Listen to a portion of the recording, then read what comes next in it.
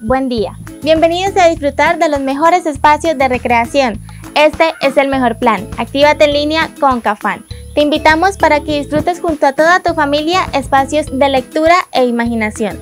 El día de hoy leeremos el cuento de Fip, el dragón sin fuego. Fip era un dragón diferente. No tenía el aspecto terrorífico de sus primos y hermanos. Siempre estaba alegre y de buen humor. Y no escupía fuego.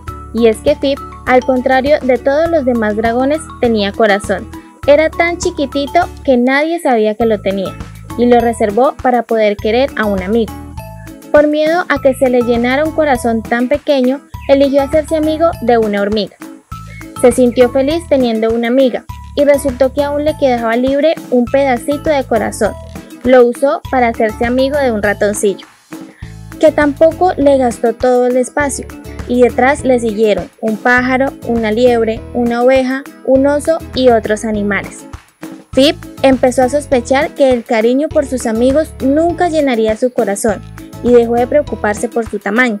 Hizo tantos amigos como pudo y se convirtió en un dragón feliz. Lo que no sabía Fip era que igual que el odio encoge a los corazones, el amor los agranda.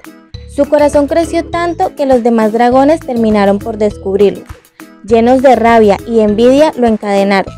Mientras las cadenas lo sujetaban para que no volara más que unos metros, decenas de dragones lo rodearon listos para lanzar sus llamas. Fip pensó en sus amigos y la pena que sentirían por él, y decidió luchar. Cerró los ojos y con todas sus fuerzas trató de lanzar la primera bocanada de fuego de su vida. No lo consiguió. Él no escupía fuego, pero un ruido como de agua le hizo abrir los ojos. A su alrededor los dragones miraban asombrados y empapados. De la boca de Fip había surgido un río más poderoso que el fuego de mil dragones. Sorprendido, volvió a intentar escupir agua, pero esta vez surgieron rayos que rompieron sus cadenas. Al tercer intento, sopló un viento envuelto en aroma de flores que secó a los dragones y arregló el desastre causado por su río. Ante el asombro general, Fip siguió soltando por su boca todo tipo de regalos y bendiciones, tan poderosos que lo convirtieron en el rey de las montañas. Así fue como los dragones descubrieron que tenían un corazón diminuto y lleno de ira, que solo escupía fuego.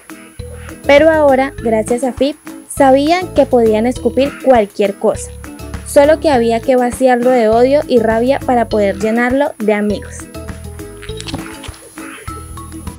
Este fue el cuento del día de hoy. Ingresa a www.cafan.com.co y encuentra las mejores actividades para disfrutar junto a toda tu familia desde casa. Espero que sigan conectados a nuestras redes sociales. Cafán a tu lado siempre.